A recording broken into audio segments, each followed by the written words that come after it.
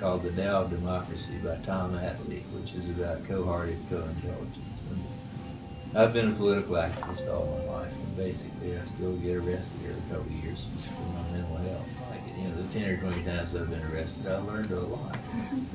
About twenty times, I'd say, in the last thirty years.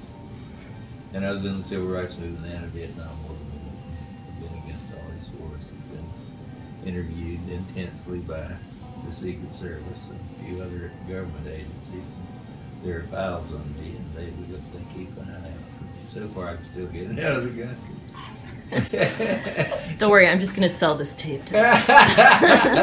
they can have it. The, the, NASA's already got it instantly when you put it out. So, fuck NASA. So, what we're after is this idea of co-hearted, co-intelligent cooperation. That's the end result. And it doesn't matter if it's between two people or two billion. We're more interested in doing it with two billion people.